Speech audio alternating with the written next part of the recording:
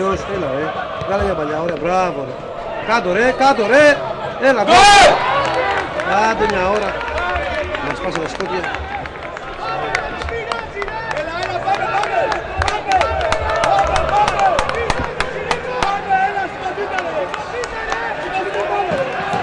Μπράβο ρε, άνοιξε τον ρε.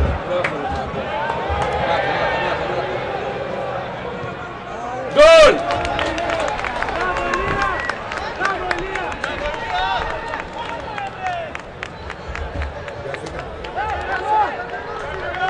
Ρηθούν να φάω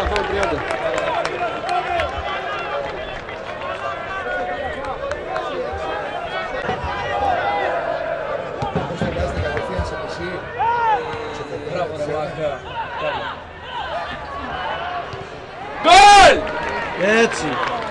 Μπράβο ρε Μάγκα.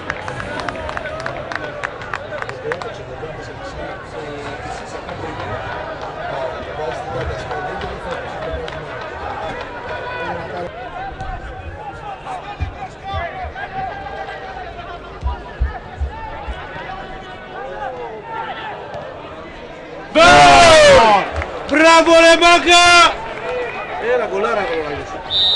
Θα πεις πεθαμένοι, ξέρεις.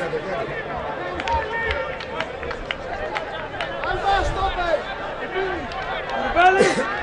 Στα κόρνερ μπαίνεις πίσω! Μπράβο.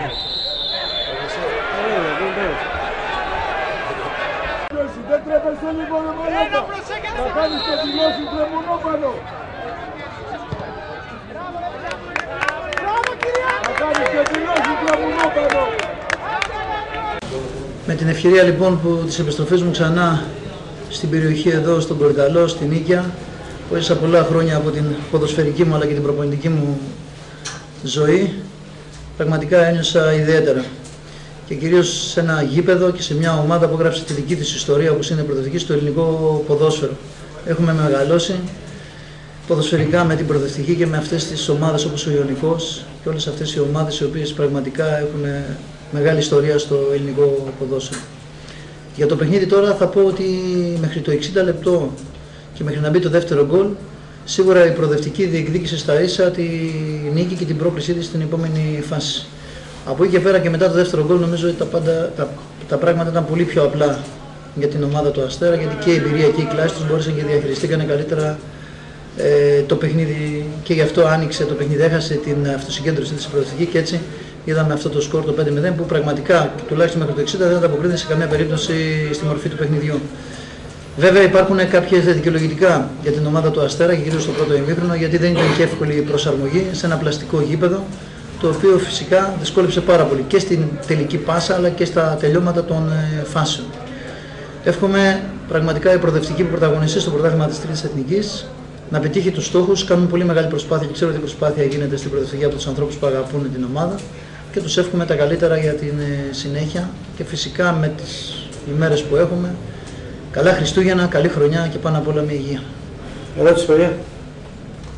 Ευχαριστούμε. Να σας πω για, τα, για τις γιορτές αυτές, για την ομάδα, έτσι μια ευχή για όλο τον κόσμο, για το ποδοσφαιρικό τμήμα, για τον Αστέρα πιο συγκεκριμένα λίγο. Εντάξει, περιμένουμε τη νέα χρονιά.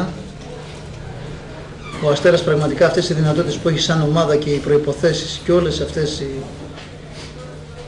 οι πολύ καλές προϋποθέσεις που υπάρχουν για το ποδοσφαιρικό τμήμα να μπορέσει να ανταποκριθεί μέσα στον αγωστό χώρο και να προσφέρει επιτέλους σε αυτούς τους ανθρώπους που έχουν οργανώσει αυτή την ομάδα να μπορέσει να πάρει αυτό που της ανήκει στο ελληνικό ποδόσφαιρο.